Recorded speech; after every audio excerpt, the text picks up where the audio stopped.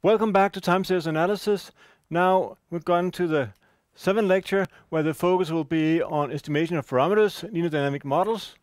In the past presentations, we just used a function called ARIMA, but now we kind of get to know what happens underneath the, the hood there.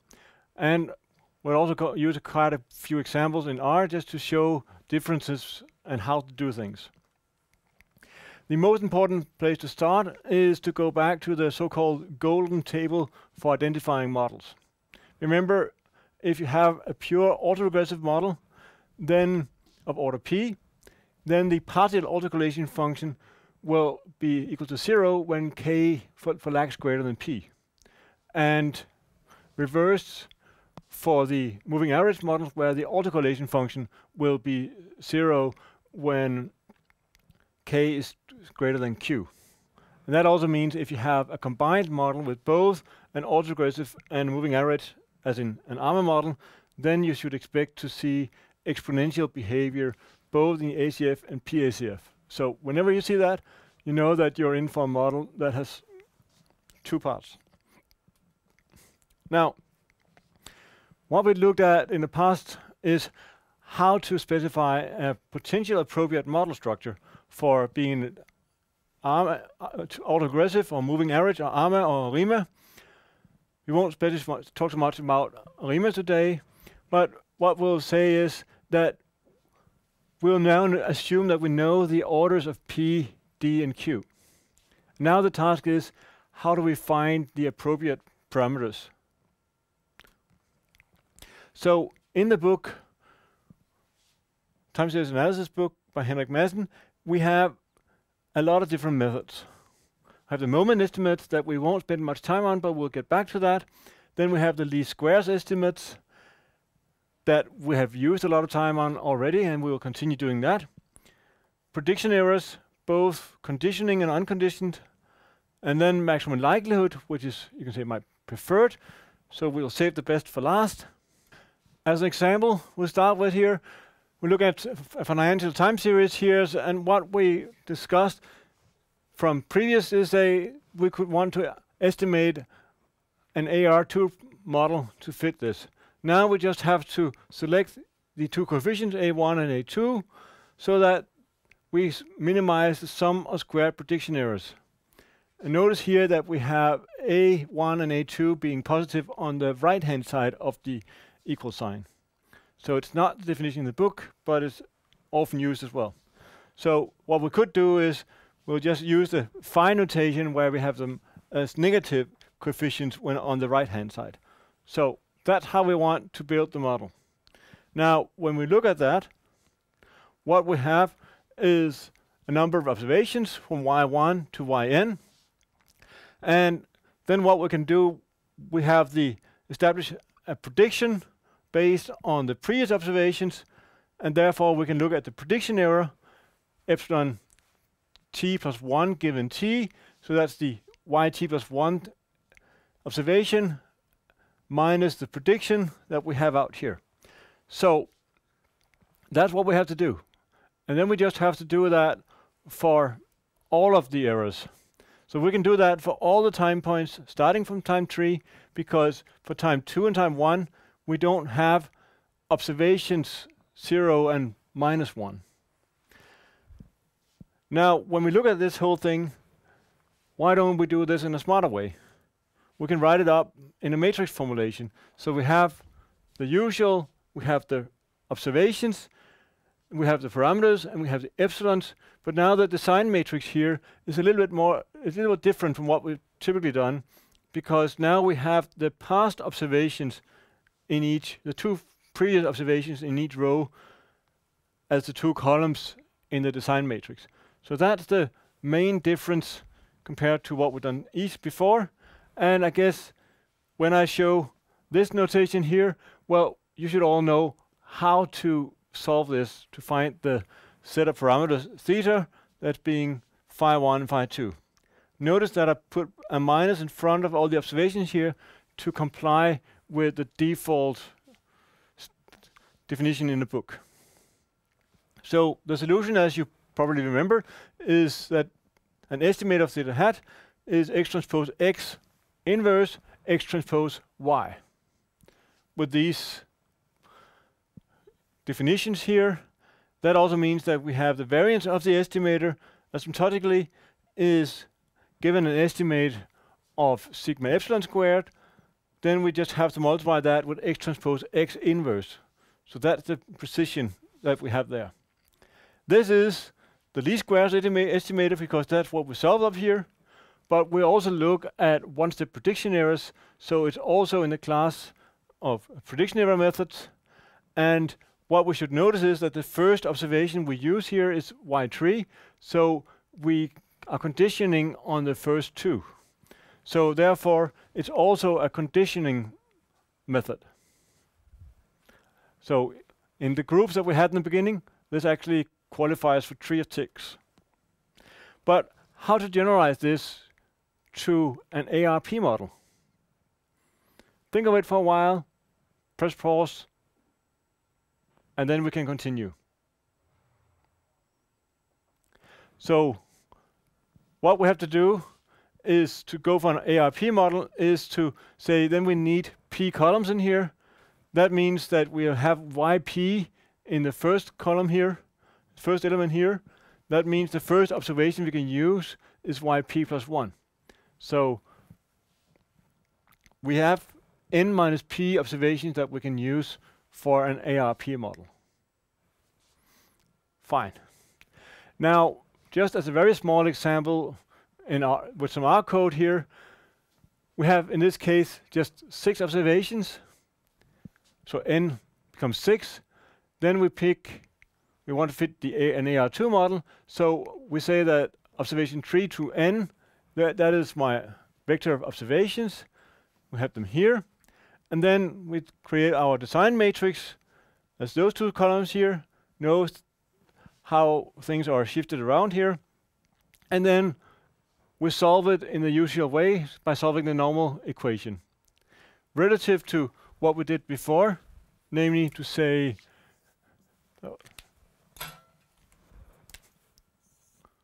theta hat equals x transpose x inverse x transpose y, then I do it in a numerically more stable way to solve this instead. So I calculate x transpose x here, and then I solve that with respect to theta here equals x transpose y. So that's using the normal equation instead, which is, you can say, on the form of a matrix times a vector that we want to estimate, let's call it x, equals another vector of coefficients. So that's a more robust way of doing it numerically. And then we get an estimate of the two parameters that we're wanting. So, so far, so good. That was, you can say, the least square method, and it works fine when you have a pure autoregressive model. When you have a moving average part in the model as well, so in the general model where you have a polynomial over here as well, in theta, polynomial in B, the backward shift operator, then we have to do something different. We can again have the AR part. Now, typically we label the parameters in the AR part for phi's and the parameters in the moving average part for thetas. Now, what I will do now is I will combine all these parameters, both the phi's and the theta, in one parameter vector and I'll still call it theta because when we do linear regression, that's most typically the name for our parameters.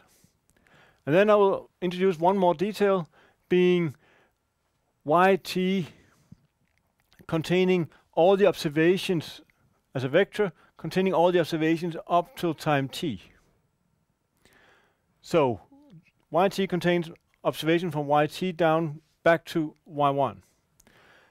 Now, what we want to do in a maximum likelihood is we want to look at the joint probability distribution function for all the observations given the parameters being thetas and being sigma epsilon squared, which we'll derive from that. So we look at the joint probability distribution for this, and then we want to maximize the likelihood of observing the data by choosing the right set, um, optimal set of parameters. The challenge here is when we have many observations, this is a big job. So what we will look at is, first of all, we assume in the process that the errors are IID, so they are independent, identically distributed. That means when you are at a certain point in time, say time n here, the error at time n does not depend on anything that was observed prior to time n. So the random variable yn, given all the previous observations, only contains epsilon n as a random component. So that means when epsilon n is white noise, then we can take the density, the joint density, and split it in a univariate density for yn, given all the previous observations, the parameters, and multiply that by the density, the joint distribution of all the previous observations. So having done that, once we get a univariate times a multivariate distribution here, but this multivariate distribution has the same feature because yn minus 1 is independent, or except, I mean, the dependence is on the previous y's from that one has the same structure. So what we can do is that we can repeat the argument and have the likelihood written as a product of all the densities of yn given all the previous, uh, sorry, yt, given all the previous y's and the parameters from t equal p plus 1 till n. And why this? Well, that's because, as we saw earlier on, for the AR2 process, we need two parameters in order to, two observations to predict the first observation in that sense. So we need to look at the density of the first p observations as, uh, as it whole, uh, on its own. So we have the joint distribution here, the likelihood can be written as a product, and then the last bit. Often you have many observations. That means that you have much more information here than out there. So what we did in the previous case with the AR2 model is, as I said, we conditioned on the first two observations. That is effectively to say we condition on y, knowing yp. So to take those for granted. So that's one thing. Another thing here, which is that when you look at the likelihood, often you may not work with the likelihood, but the log likelihood. And one of the reasons for that is this product here of a lot of densities, these densities will in general be small numbers. Most will be less than one. So we have a product of many numbers that are small, and you keep multiplying them all together, you may have numerical underflow. So if you do the logarithm of this instead, the product becomes a sum, and everything behaves nicer. And if you want to maximize the likelihood, well, since the logarithm is a monotone increasing function, you can still maximize the log likelihood, and you get to the same maximum. So that's one thing we'll get back to a little bit later. It also has some other nice statistical features, but that's to some extent outside the scope of this course. But what we will do is we'll consider the conditional likelihood function, thereby excluding the information from the first p observations that we had on the previous slide. So we'll get almost the same estimates as we get by using exact like maximum likelihood. And you can say whenever you have a small sample, of course there will be a bigger difference than if you have a larger sample. And the default in the R function in ARIMA is to actually do the exact likelihood. You can run the process backwards, and thereby you can get information about the first two observations as well. But that's more technical. I think in most purposes, it's sufficiently fine to just run the filter forward and thereby get the conditional likelihood function. But what we have to do is we have to estimate, we have to evaluate this likelihood in order to say something about it. So we need to find the conditional densities given our model. So what we discussed before is that, well, the random variable yt given all the previous observations, that's the one-step forecast. We did that for the AR2 model and any AR model. So, and we also know that the variance of that one-step prediction is sigma epsilon square. It's quite nice to always have sigma epsilon square when you look at one step. If you were to look at, say, multi-step behavior, then you would not just have this, but you would also have an impact from parameters, and all of a sudden, the optimization problem in the process will be nonlinear. So it's good to focus on one-step prediction errors. Within this course, we will focus on white noise be from Gaussian processes. So the density of yt given all the previous observations and the parameters will be a normal density of the normal distribution. So we have the prediction error squared in here, known by two times the variance. And if we then look at the likelihood well, that's the same thing, but for yn, we just have to multiply all these together for each of the observations. Note the n minus p here because we condition on the first two. And what we get in here, well, the multiplication of the exponentials is the sum of the powers in there, so we get a sum of all the epsilon squared in here from t equals p plus 1 to n. So when we want to maximize the likelihood, then the sigma epsilon out here is a derived parameter. What we really care about is the theta in there. So to maximize this, we have a minus in here.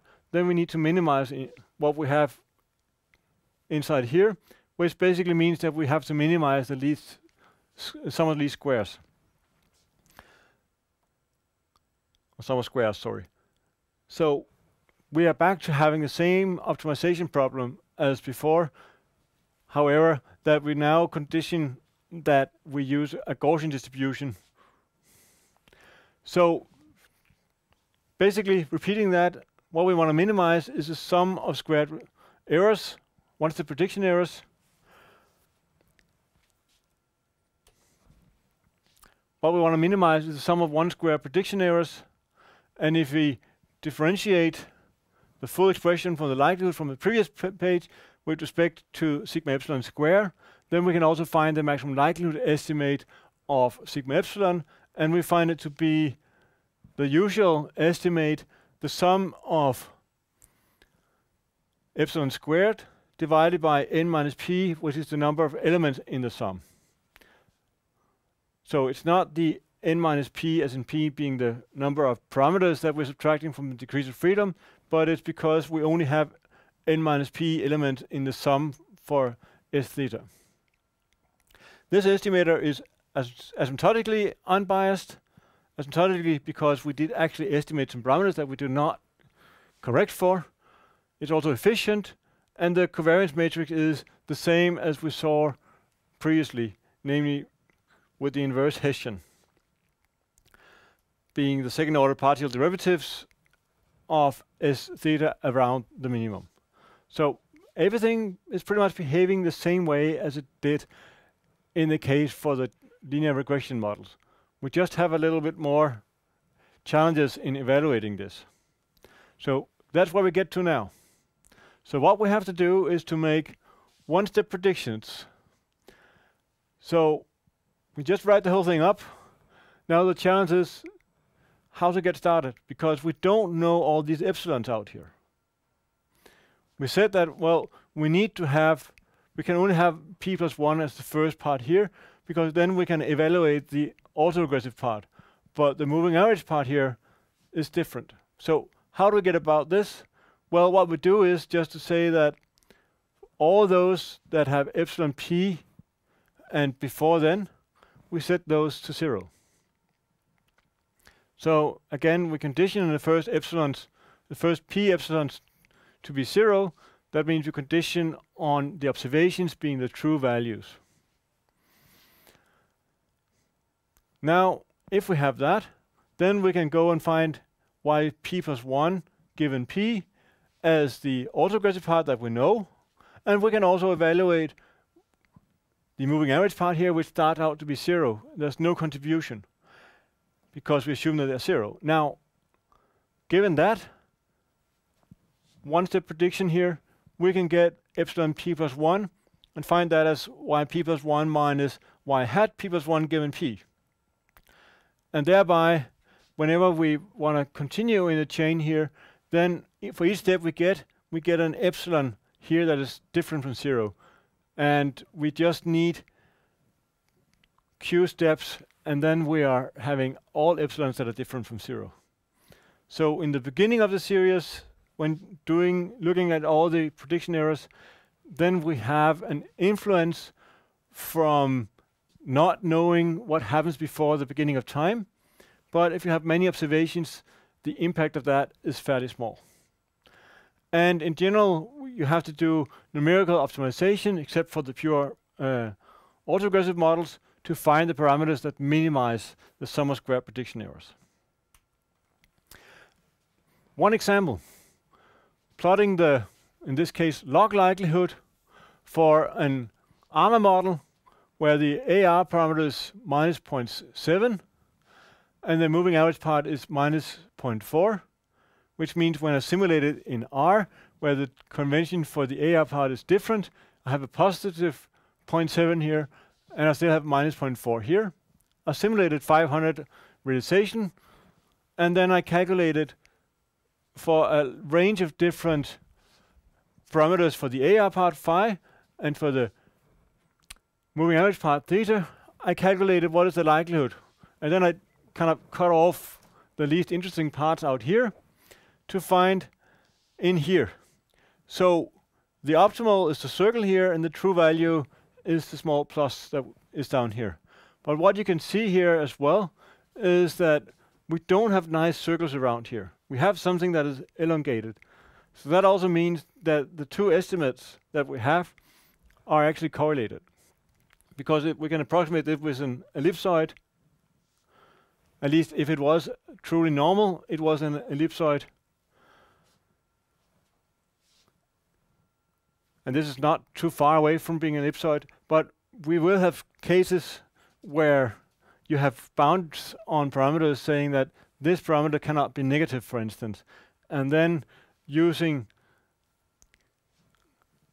the curvature around the optimal and then say, well, how far can I go out? To use that as a confidence interval for parameter is not always meaningful if it includes negative values. But that's kind of outside the scope. But there's another course where you look more into using likelihood, and you can do profile likelihood intervals where you kind of uh, take care of that.